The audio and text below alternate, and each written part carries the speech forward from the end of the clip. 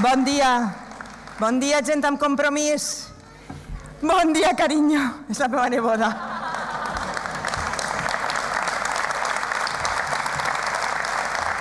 Bon dia als que heu vingut del nord, del sud, de terra endins. Benvinguts i benvingudes a València. Benvinguts i benvingudes a esta ciutat que avui ens acull a tots. Mireu, tenim un país amb un cos i dues ànimes. Sabeu que sempre em dirigisc a vosaltres en la llengua de mon pare, en la llengua de la meva militància, en la llengua de la meva elecció, en la llengua que parle i he decidit educar als meus fills, perquè és la llengua del meu cor i del meu país.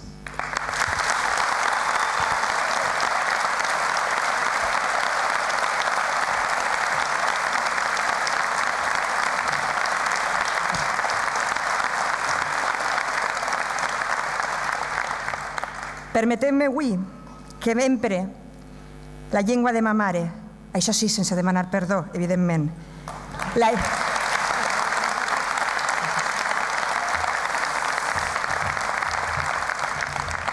La lengua de mi madre, mi lengua madre, la lengua también de mis entrañas. Quiero en primer lugar saludaros a todos los que habéis venido de los distintos rincones del país valenciano. También quiero dar las gracias a los que hacen posible actos como el de hoy, a esos que no están en la primera línea, pero que trabajan días y días incansablemente para que hoy estemos aquí, para que esto sea posible y para que esta campaña esté siendo un éxito como está siendo.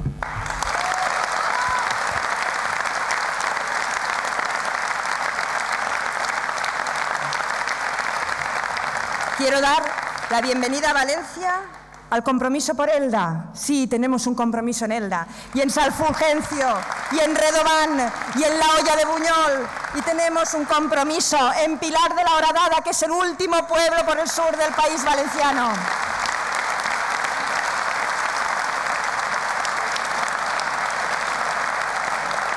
Tenemos un compromiso por Salinas. Así es que, amigos, amigas de Compromís, desde Vinarós hasta Pilar de la Horadada, tenemos un compromiso con este país y este país es nuestro compromiso.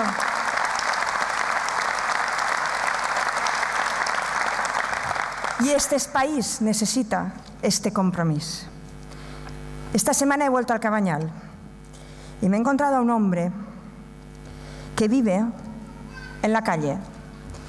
Este hombre, con los ojos umbríos por la pena, tiznado, porque la pena tizna cuando estalla, me contaba que vive en la calle con su mujer y con su niña de un mes y medio. Y me dijo que en este país el gobierno no tiene corazón. Los vecinos me contaron que eso es normal, que no es el único, que hay muchos, que van con nocturnidad, con alevosía, con esa complicidad que tienen con las grandes constructoras, les tiran de sus casas, son extranjeros, aprovechan que no hablan nuestro idioma, les cortan el agua, los extorsionan, los amenazan. Y este hombre me contaba su vida en la calle, mientras yo le daba vitamina compromiso, que no sabía dónde metérmela, la verdad. Aprovechando la vulnerabilidad de la gente más débil, estas son las políticas que se hacen en nuestra ciudad y en nuestro, y en nuestro país. Yo no me he quitado de la cabeza a este hombre desde que, desde que lo encontré esta semana pasada. Porque le he dado muchas vueltas a esto, no se me va de la cabeza. Esto de que el gobierno no tiene corazón. Y creo que este hombre tiene razón. No tiene corazón una política en la que mientras 600.000 personas están paradas, 100.000 familias en este país no tienen ningún tipo de ingreso, viven en este momento gracias a la solidaridad de sus amigos y familiares. Miles de personas han de pensar muy bien y sacar muchas cuentas el día 1 de mes. ¿Qué plato ponen en la mesa para poder poner un plato también el día 31? Mientras que esto ocurre, nuestro máximo gobernante, el señor Camps, se hace fotos con la aristocracia. Estos que tampoco tienen trabajo, pero es que no trabajan, no han trabajado nunca, como Cayetano Martínez de o los que vienen de Mónaco.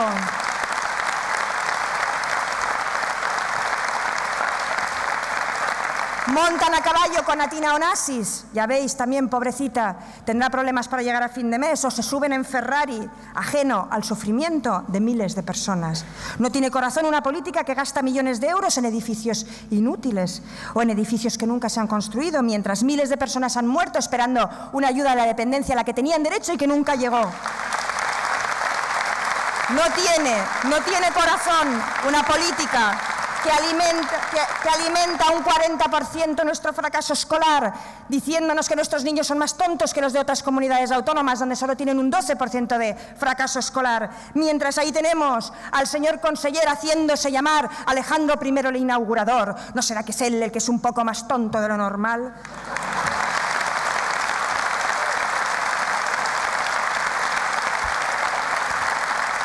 No tiene corazón una política que destruye la tierra que nos cobija, que prima los intereses especuladores, el derecho al derecho a una vivienda digna, que llena de cemento nuestra horta y tapa nuestro ecosistema y tapa la tierra que nos vio nacer. No tiene sentido, no tiene corazón una política que proyecta edificios como la ópera, una cultura de élite, que no digo yo que no se haga un palacio de la ópera, pero tenía que ser tan caro. Vamos, y que ahora se casen en ese edificio los ricos y hemos pagado el dinero con dinero de todos nosotros, un marco incomparable para que ahora se casen los ricos. Se gasta el dinero en edificios rimbombantes mientras ahoga a nuestras expresiones populares, culturales más genuinas, y ahoga a nuestras bandas de música, y a nuestros músicos en valenciano, y ahoga a nuestros actores y nuestras actrices. No tiene corazón. No tiene corazón una política que no asiste a las personas mayores, mientras que Cotino y su familia se han hecho ricos desviando los dineros de la dependencia a sus residencias privadas. No tiene corazón una política que roba las esperanzas e impide los proyectos de vida de la mitad de nuestros jóvenes, que no les están dejando tener ni siquiera una ilusión de vida, un proyecto de vida, que les están diciendo que tienen que trabajar 40 años, pero a la vez les están diciendo que no hay trabajo. No tiene corazón. Una política que quiere dejar perder una generación entera, no tiene corazón. Una política que desvía los dineros de la solidaridad, recogidos con mucho esfuerzo de todos los valencianos y valencianas, para que llegara a los niños de Nicaragua y unos amigos sinvergüenzas del señor Blasco se lo gastaron en pisos. No tiene corazón. No tiene corazón. Una política que humilla a su pueblo, una política que mercadea con aquello que un pueblo quiere ser y nuestro pueblo quiere ser país y nuestro pueblo quiere ser digno y nuestro pueblo quiere estar de pie. Y por tanto, nosotros decimos que esa política no tiene corazón, pero además no tiene cabeza, porque es irracional, porque es suicida. Por eso desde Compromís pedimos el apoyo y el voto de la gente para poner cabeza y corazón en la política de nuestro país, donde ellos instauraron un régimen con abuso de poder, con corruptos, horteras y nuevos ricos, donde nos sustrajeron nuestras esperanzas. Compromiso pondremos participación ciudadana, presupuestos participativos, control, claridad y transparencia. El dinero público para el interés general, el dinero público para el interés de todos los trabajadores y trabajadoras, los pequeños empresarios, los autónomos, los pequeños comerciantes, nosotros que levantamos este país todos los días trabajando honradamente, sin robar a nadie y sin malversar.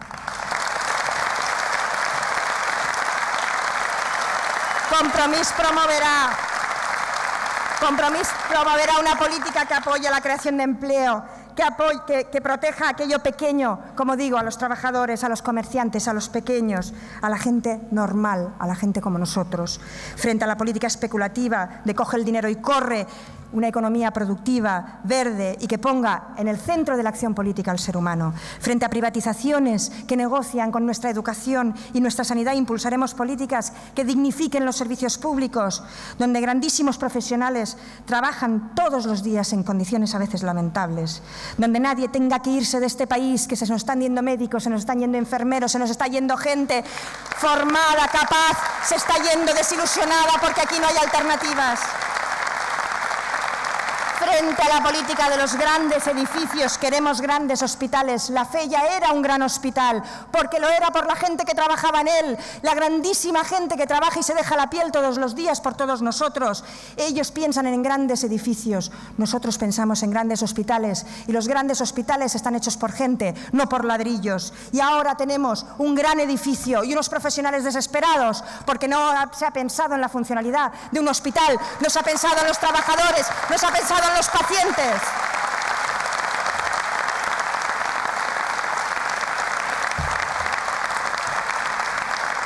No queremos una sanidad de doble velocidad, no queremos hospitales de Manises, hospitales de Marina, donde la gente cobra menos, donde trabajan con condiciones infrahumanas y horarios que donde la, la conciliación de la vida laboral y familiar simplemente es una burla. Nosotros impulsaremos una educación pública desde los cero años y lo hemos hecho en el Parlamento y lo hemos hecho en la calle recogiendo firmas y quiero felicitaros a todos por esas 65.000 firmas que recogimos para una educación infantil. Por cierto, chiquets y chiquetes, niños y niñas de compromiso que habéis venido a nuestros mítines, que habéis estado sentaditos portándoos bien, quiero deciros gracias Gracias por ser nuestra voz también, por recordarnos lo que es lo importante. Gracias por poner nombre a nuestro logo, que le han puesto Bob Compromís, porque es cuadradito como Bob Esponja. Seguiremos dándoos voz, aunque algunos, para algunos no existáis porque no votáis. Gracias, niños y niñas de compromiso, que nos seguís también a través de Internet, que nos reconocéis en los carteles y que nos dais ánimos todos los días. Frente al gasto elitista. Frente al gasto elitista, promoveremos una cultura próxima, el deporte para, para practicarlo y no solo para mirarlo, donde amanezcan edificios vacíos como el Ágora, nosotros plantaremos una escuela permanente de circo, un lugar para las bandas, para las asociaciones, para el teatro, para los músicos, lo llenaremos de risa y de vida, cuando ahora solo hay desolación y despilfarro. Frente a la política para unos pocos, la política para la felicidad de todos los días, la política que nos hace la vida más fácil a la gente normal y humilde. Sustituiremos la codicia, la avaricia, la envidia que ha reinado hasta ahora en las políticas de los gobernantes actuales por una política de la fraternidad, porque entendemos que el ser humano es hermano del ser humano y que solo saldremos de esta crisis si salimos todos juntos y solo habrá una política digna si entre, desde los poderes públicos y entre todos nosotros tejemos una red de la que no se caiga nadie, ni por razones económicas, ni por tener una discapacidad, ni por haber tenido menos suerte en la vida, ni por el color de su piel, la lengua que hable o el origen familiar que tenga. La política tiene que ser una red de lo que no se caiga nadie. Tenemos que entender que la fraternidad es el principio, la premisa de todo. Sobre las esperanzas taladas, las ilusiones taladas, algunas vidas taladas, haremos crecer nuevas políticas, nuevas ideas y crecerá nueva savia. En realidad esto es lo que hemos hecho durante estos últimos cuatro años. Hemos sido la voz de los invisibles, de aquellos que nadie escuchaba, de miles de sufrimientos silenciosos. Hemos hablado mucho estos días en la campaña de todo lo que hemos hecho, pero yo hoy solo quiero recordar una iniciativa de compromiso de estos últimos cuatro años. La quiero destacar porque también estoy especialmente orgulloso de ella y sé que el grupo parlamentario, mis tres compañeros y yo, fue un día para nosotros de gran emoción, porque hicimos una propuesta que salió votada en las Corts por unanimidad. Gracias a Compromís conseguimos que las Cortes Valencianas aprobaran una propuesta para anular el juicio sumarísimo a Miguel Hernández. Esto puede resumir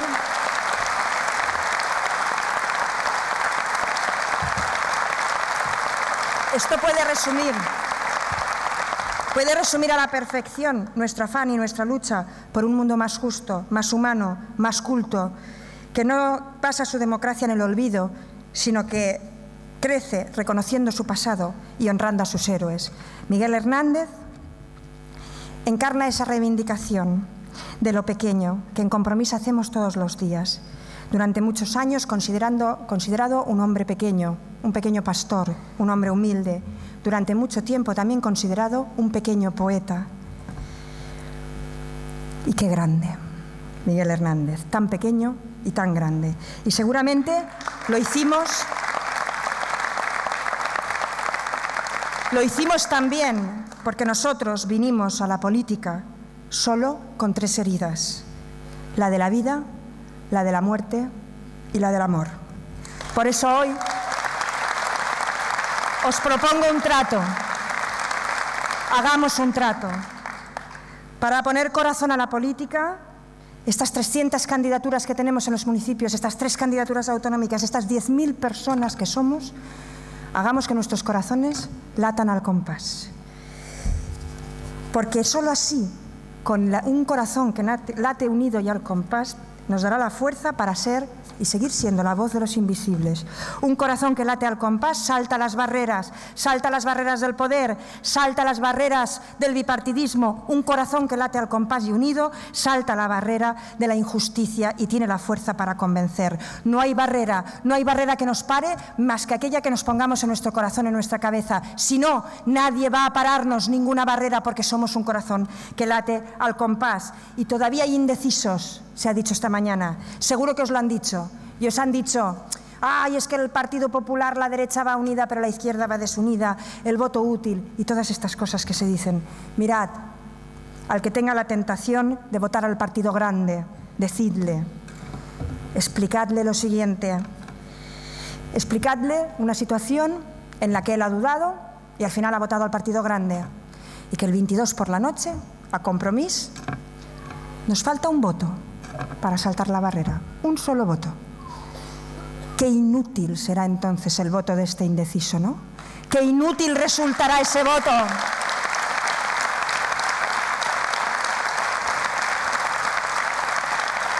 ¿Cómo se sentirá el 22 por la noche si su voto resulta tan inútil? Porque mirad, Hemos de explicar que el voto más útil es aquel que te hace sentir orgulloso cuatro años, no solo el día que votas.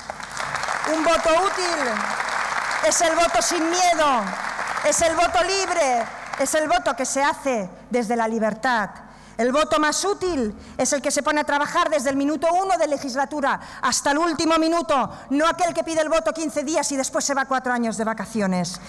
Hay partida un voto útil es aquel a una fuerza política como la nuestra que no hemos tirado la toalla, que no nos creemos las encuestas hasta que no sea el día 22. Los partidos de izquierdas han dado ganador al PP, todos salvo Compromís, que seguimos jugando la partida. Quedan seis días y les podemos ganar.